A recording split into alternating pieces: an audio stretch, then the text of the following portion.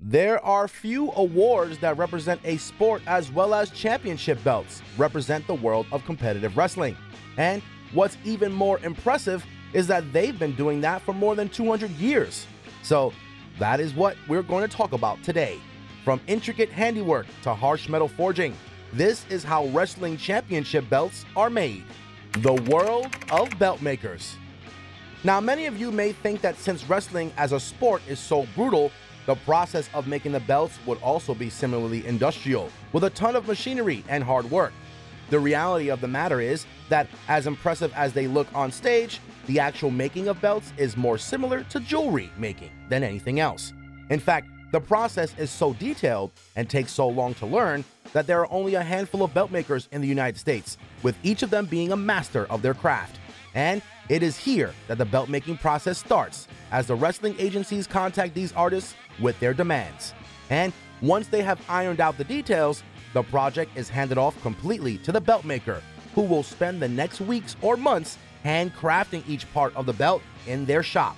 But before that long and arduous process can start, there is the topic of designing the belt. It's no secret that championship belt designs are some of the most important images in a championship and will represent a winner and a title for decades to come. So, making the right design that represents the title and series is pretty damn important.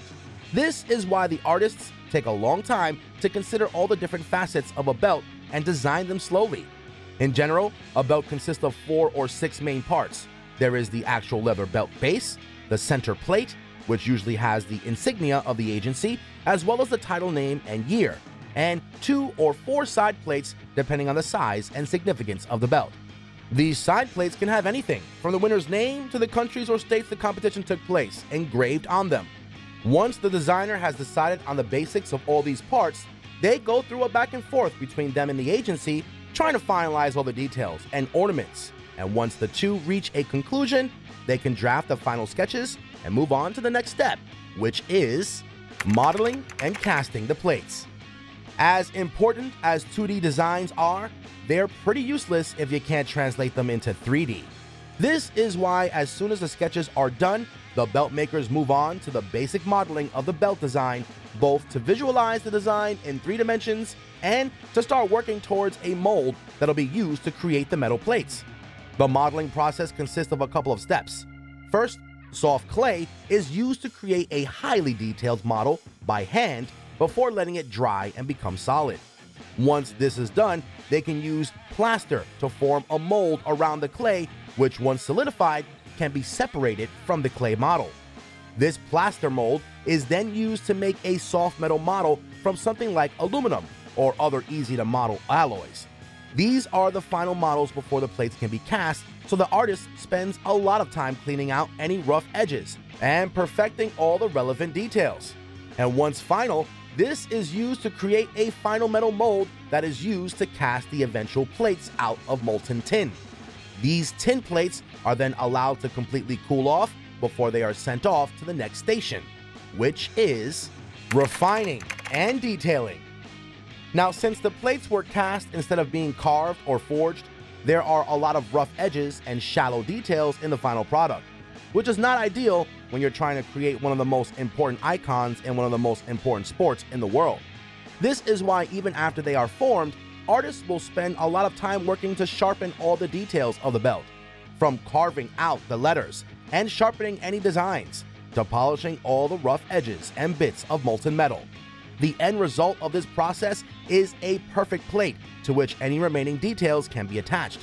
These are things that are impossible to bring across by casting like sharp letters, sculptures, and any other such small things. These are crafted separately from the main structure before being attached to the base. After this, these undergo the same hand refining process to match their surface to the rest of the tin. And once the belts have been crafted in this way, all that is left to do is electroplating. Now, tin is a heavy and pretty corrosion resistant metal, but it is no match for the looks, protective properties, and most importantly, value of gold or other precious metals. This is why all wrestling belts are thoroughly electroplated with a layer of these metals.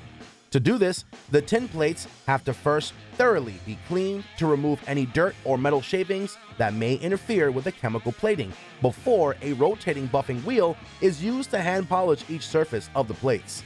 These are then allowed to sit in an electrolyte solution with a special chemical composition while being attached to a circuit that slowly deposits a perfect layer of gold or any other metal onto the plates. And for belts that have more than one precious metal on them, the same process is done multiple times while covering separate parts of the tin to achieve a two-tone effect. And once finalized, the belt is as shiny as any piece of fine jewelry. And speaking of jewelry, let's move on to the next step, which is, you guessed it, the final details. Now, the exact way of decorating a belt can differ from competition to competition, designer to designer, and year to year. But in general, a few techniques are always used. One of the simplest ways to add detail to metal that is used to these kinds of belts is etching. For this, a special chemical is added to some parts of the belt, which when submerged in an etching solution creates a special texture on the metal. A more traditional and simpler method is also to simply paint some parts of the belt. This is done using special enamel paints that last very long and retain their colors. For this, the plates are first cleaned and then roughened to give the paint something to latch onto before enamelers apply the thick paint. After this, the plates are simply baked for a few minutes to solidify the enamel, and voila, you have a bright and lustrous finish. But probably the most famous way of adding detail to these belts is in the form of, you guessed it, gemstones. And this process is pretty self explanatory.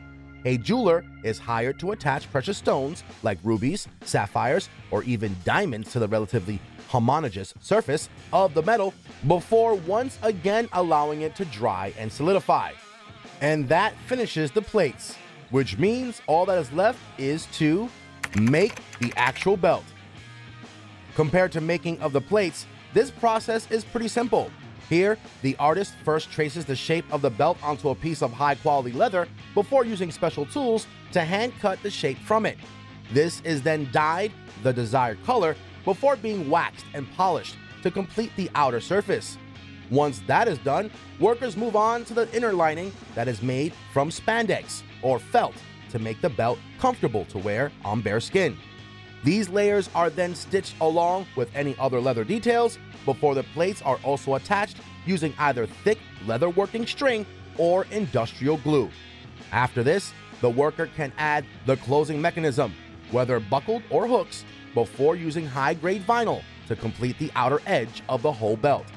After this, all that is left to do is brand the inside of the belt with the agency and the belt maker's insignia before packing it in a custom box and shipping it off to the halls of wrestling history.